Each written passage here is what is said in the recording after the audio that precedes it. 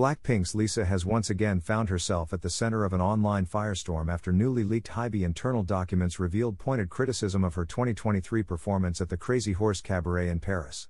Although many fans had initially celebrated the show as a bold artistic move, the performance stirred controversy for its provocative burlesque elements, which clashed with the typically polished and mainstream image that Blackpink has cultivated over the years. On November 1, a fresh set of internal Hybe reports surfaced, diving deeper into concerns surrounding Lisa's Crazy Horse show and how her participation might impact the public perception of Blackpink.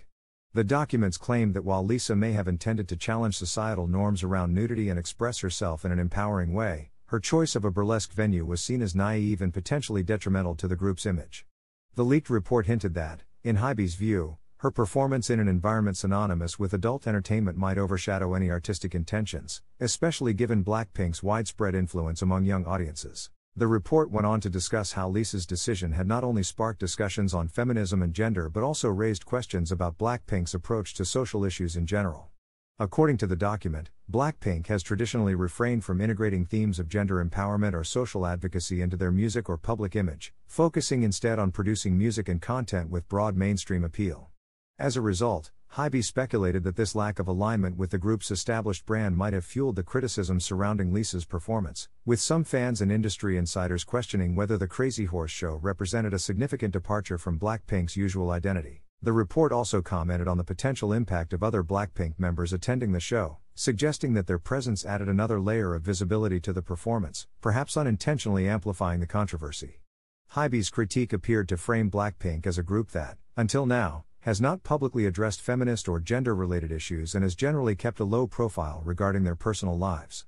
The report further implied that Lisa's foray into a more provocative performance space might have had unintended consequences for the group's image as a whole, noting that Blackpink's branding has largely centered on their music and international appeal rather than social or political statements. This new wave of scrutiny arrives in the wake of previous leaks from Hybe's internal communications, which allegedly contained similarly critical observations about Blackpink's activities.